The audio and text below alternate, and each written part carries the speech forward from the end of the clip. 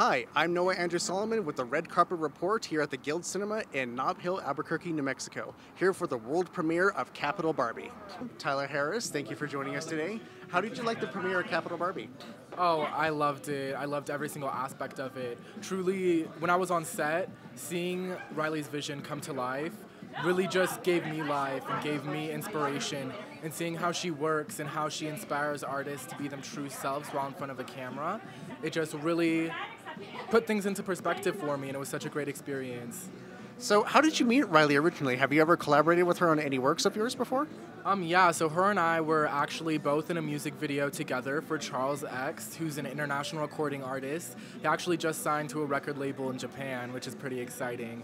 Um, but yeah, it was just a great time working with her on there, and then from there we connected, and she asked if I would like to help on set, and I said absolutely. And yeah, that's what started our friendship slash work relationship.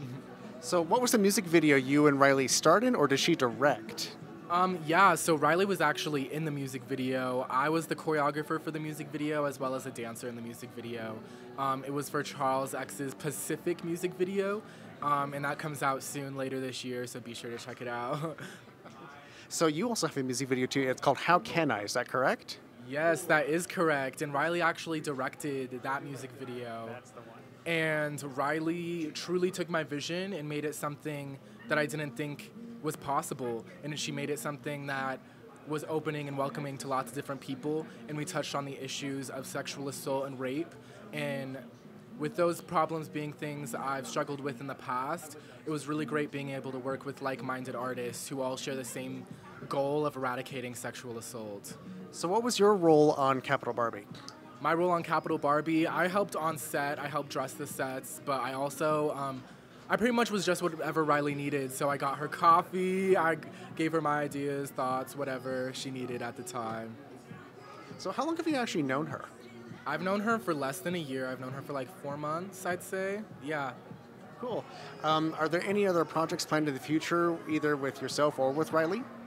Um, yeah, there are lots of projects that we're looking forward to. I can't really say anything at this point, but just be on the lookout for some insane collaborations between Riley and I.